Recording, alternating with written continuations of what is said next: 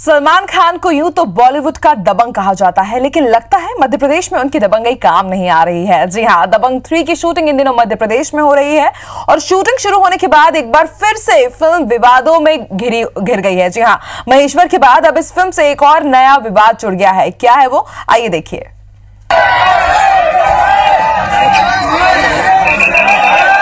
सलमान खान की फ़िल्म दबंग थ्री से विवाद खत्म होने का नाम ही नहीं ले रहे हैं। पहले सलमान खान ने महेश्वर में फ़िल्म का टाइटल ट्रैक शूट किया था, जिसमें शिवलिंग को लेकर विवाद हुआ था।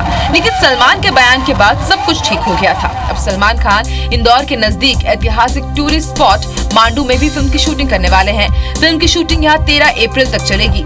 मांडू में वैसे तो शूटिंग के लिए शानदार लोकेशन है, लेकिन फ़िल्म के लिए मांडू स्थित हवा महल में दो नए सेट लगाए गए हैं।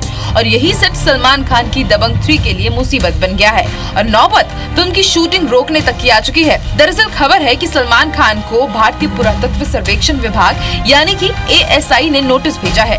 एएसआई ने सलमान और उनकी टीम को आदेश दिया है कि वो मध्य प्रदेश के मांडू में स्थित ऐतिहासिक जल महल में बनाए गए दो सेट को हटा ले। विभाग ने नाराज़गी जताते हुए film company Messrs Dream World Movies and Production को कलेक्टर के माध्यम से कहा है कि अगर बुधवार तक शूटिंग स्थल पर किए गए निर्माण नहीं हटाए गए तो कंपनी के खिलाफ कार्रवाई की जाएगी।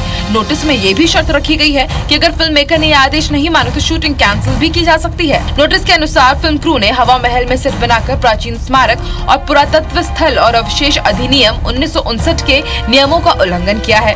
एएसआई का कहना है कि इस बारे में पहले ही बता दिया गया था, लेकिन फ़िल्म के क्रू ने प्राचीन स्मारक और पुरातत्व स्थल और अधिनियम के नियमों का उल्लंघन किया है। अब देखते हैं, फ़िल्म की टीम इस पर क्या रिएक्शन देती है। Bureau report IBC 24